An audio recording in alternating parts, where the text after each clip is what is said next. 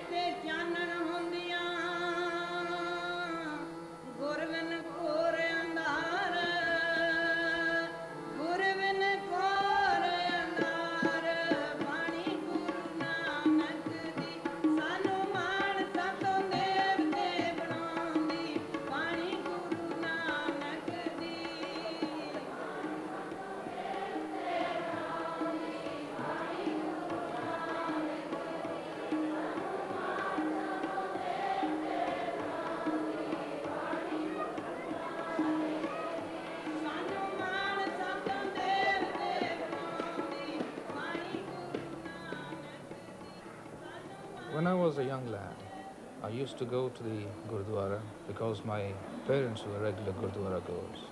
But as I grew up and went away from home for further education and for work, the uh, Gurdwara progressively went out of my life because there wasn't the guidance of the parents. I was still a Sikh. In appearance, I was a Sikh, that is. I had a turban and a beard which was trimmed. And um, I also used to uh, drink a bit. In other words, I wasn't a true Khalsa. Sant Baba Puran Singh influenced my life quite extensively. He is uh, a very enlightened person.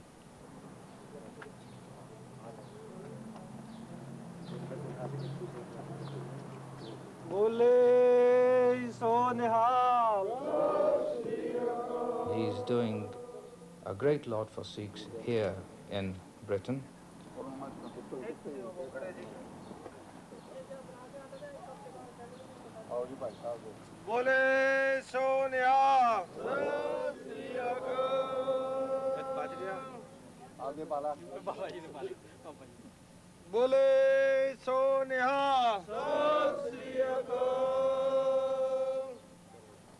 After I met him in 71, I was really influenced by his personality, by his teaching, and I decided that it was time for me to become proper Khalsa. And in 74, I uh, took Amrit from Sant Babaji, and ever since then, I have stuck to the commandments of the Khalsa, in other words, uh, maintained my five Ks, and I find that having done this, I have disciplined myself, I'm stronger, well powered, and uh, daily Nam Simran and uh, every uh, daily prayers uh, make me uh, stronger in character and uh, make me a better person to face this life.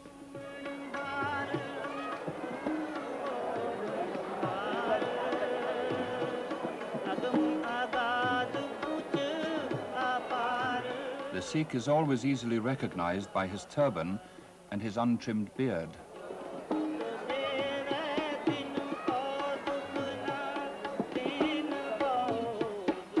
The first of the five religious symbols of Sikhism, the five Ks, is the uncut hair of the Khalsa Sikh, Kesh.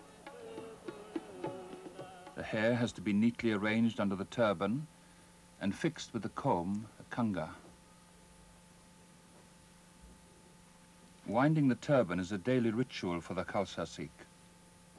On the feast of Vaisakhi, 1699, Guru Gobind Singh, the tenth and last of the human gurus, created the Sikh Brotherhood, the Khalsa, bound to the faith of Guru Nanak, ready to defend that faith against all persecution, expressed in symbols which are a combination of purity and military pride.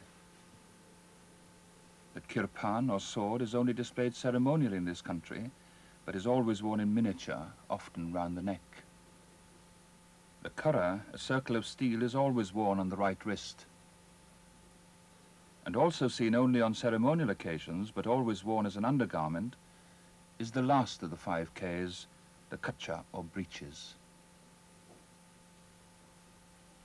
Women also cover their heads and the five Ks apply to them equally.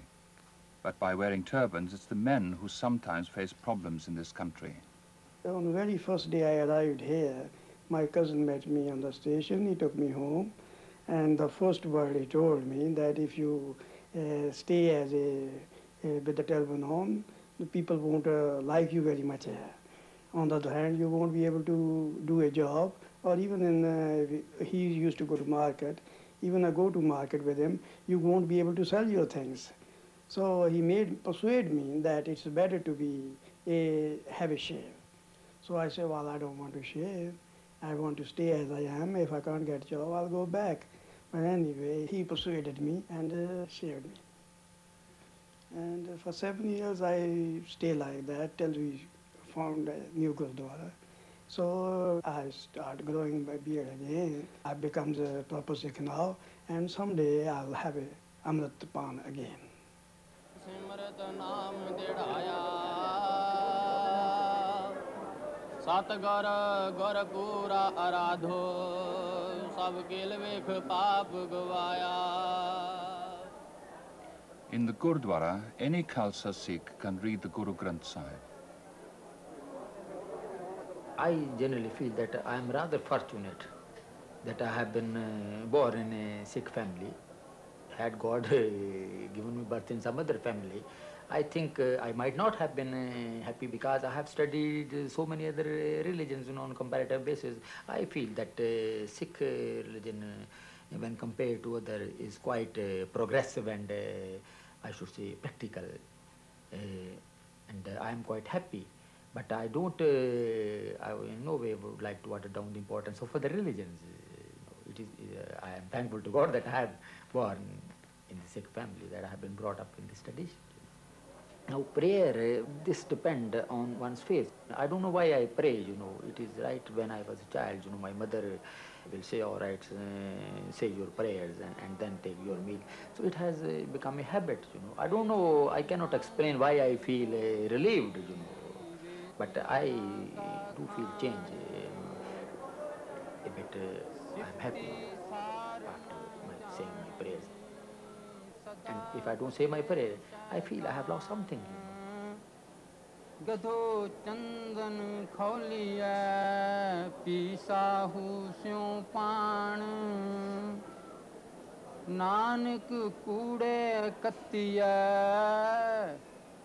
If you do your prayer with the whole your heart, it's always being heard. I had an experience when my son had an accident in 1971. He nearly died. I did my prayer in front of the Gurdwara house and then I went to the hospital. One doctor came to me. He said, it's marvelous. We never expected what has happened. Your son is breathing again and it's the will of God. The doctor said to me that uh, somebody, it's, it's a prayer is being heard, you know. You must pray more. Uh, your prayer will be heard. We are doctor, we are not a God.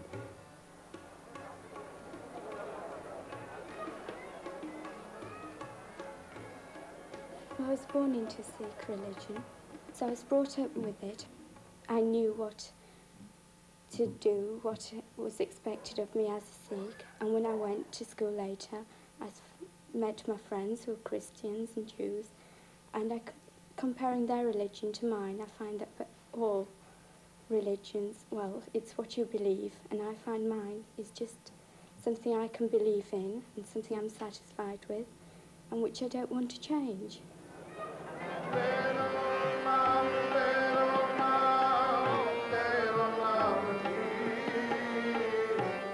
Important ceremonies like marriage take place during the normal Sunday worship. In his hand, the bridegroom holds a scarf or pulla, which will ritually tie his wife to him. He will also use it to lead her around the holy book, the Guru Granth Sahib.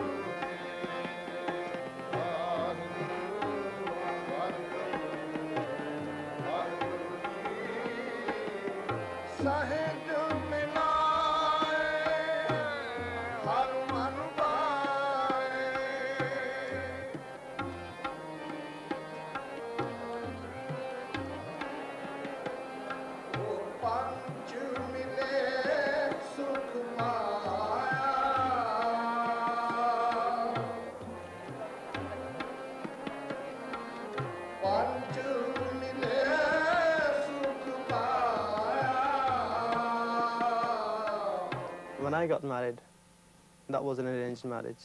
First time I saw my wife was uh, when I went to the register office and said that I'd take this lady as my wife.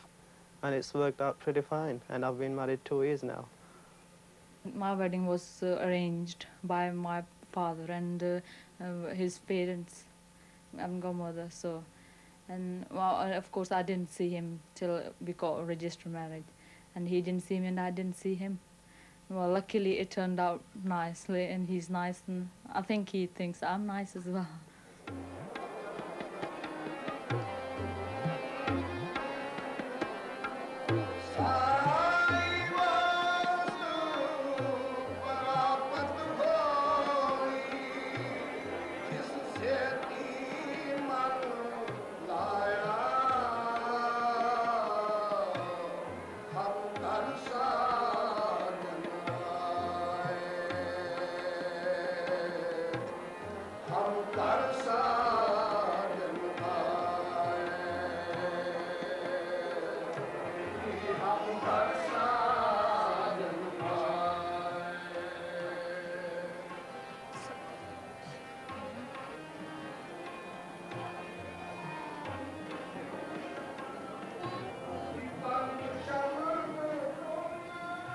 Being the eldest here, it is my duty to uh, advise my mother and consult her in all decisions uh, regarding the family.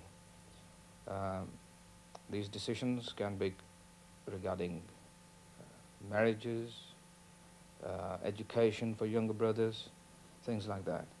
And uh, once we make decision, uh, the rest of the members of the family abide by it. My marriage will be an arranged marriage, but it will be a 50-50 way. I will have some say in what goes on, and my parents won't totally decide on their own. I'm sure there will be some discussion between us as to how, what I think, if I'm ready for marriage, what do I think of it. And um, my parents hopefully will not arrange everything and then tell me. I want a choice. And I think I shall be having more than 50% choice because I shall uh, select one that I think suitable and then introduce him to my parents rather than my parents choose one and introduce one to me.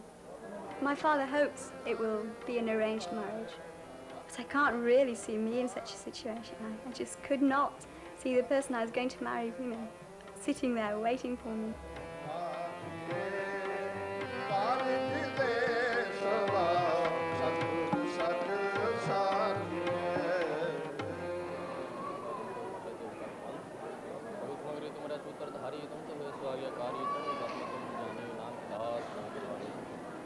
Nashik ओंकार श्री वाहिगुरु जी की फतेह वार श्री भगवती जी सहाय।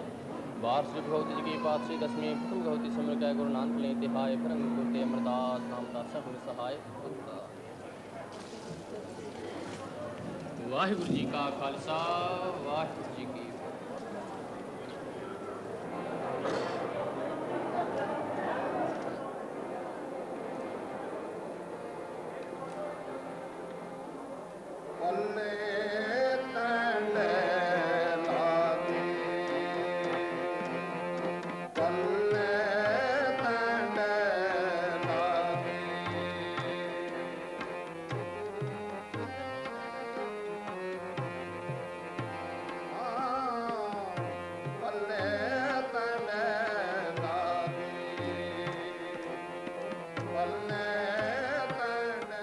bridegroom leading the bride on the sacred path around the holy book is the most important part of the ceremony.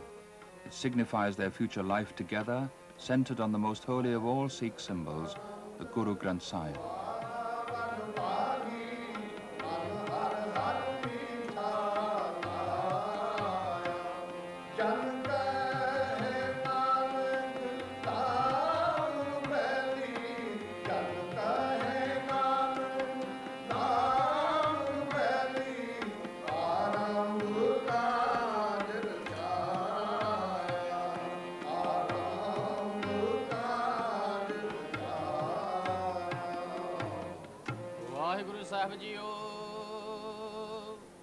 ਹਰ ਦੂਜੜੇ ਲਾਮ, ਸਤਗੁਰ ਪੁਰਖ ਮਿਲਾਇਆ ਬਲਿਰਾਮ JIO. ਹਰੇ ਆਤਮ ਰਾਮ ਪਸਾਰਿਆ ਸੁਆਮੀ, ਅੰਤਰ ਬਾਹਰ ਹਰ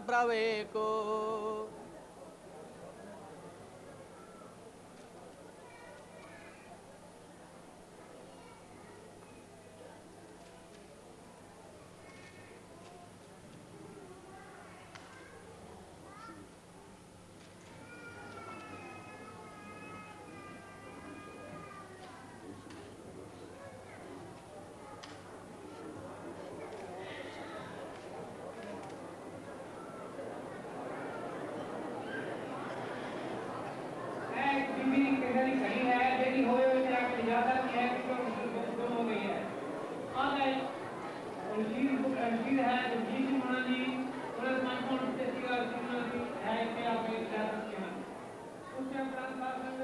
Giving money to maintain the Gurdwara and its community work is part of the service of the faithful, and the treasurer receives and carefully records each weekly tithe.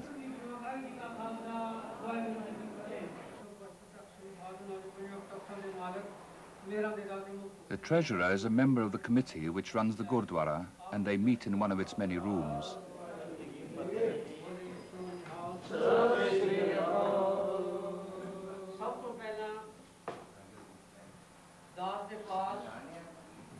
Traditionally, the Gurdwara is the focal point of the religious and cultural life of the community.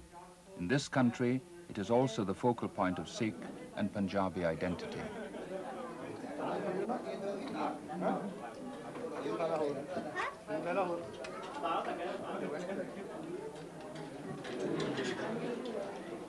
In the Gurdwara, there are so many other institutions attached to it. So we, we have a community kitchen.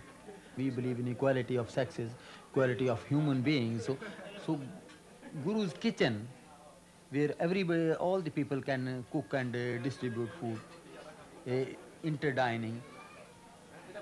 So that is a practical demonstration of uh, brotherliness.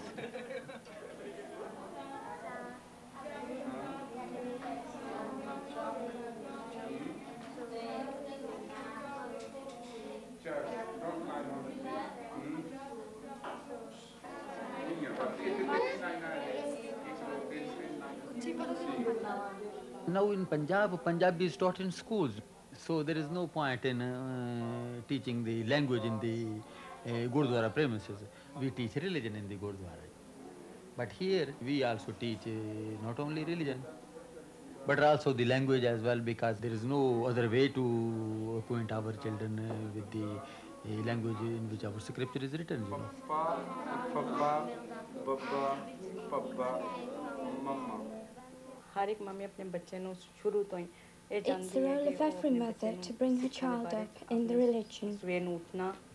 And if the child is very young, just to say the name of God first thing in the morning. बहुत छोटा बच्चा है तो सिर्फ कह के भी अपना सकता है. First thing I'll teach him is this: that uh, he must learn Punjabi, and then if he learn Punjabi, and uh, he'll be able to speak, he will be, to write as well, and, and then when he'll grow, then he'll be big. I mean, Sikh, proper Sikh. If he won't know anything about Punjabi, he won't know anything about religion, and I don't think so. He'll, you know, he's, he'll be a big, I mean, proper Sikh. So I'll make sure that uh, he learn, you know, I teach him, and I must teach him every day, without fail, like my father did, I suppose. Growing up in Leeds is proving very difficult for me because, well, there are so many things that I would really like to do to involve in the social life in Leeds with my friends. But um, I'm torn between wanting to do what I want to do and what my parents will let me do. In fact, uh, quite often the, the two views conflict.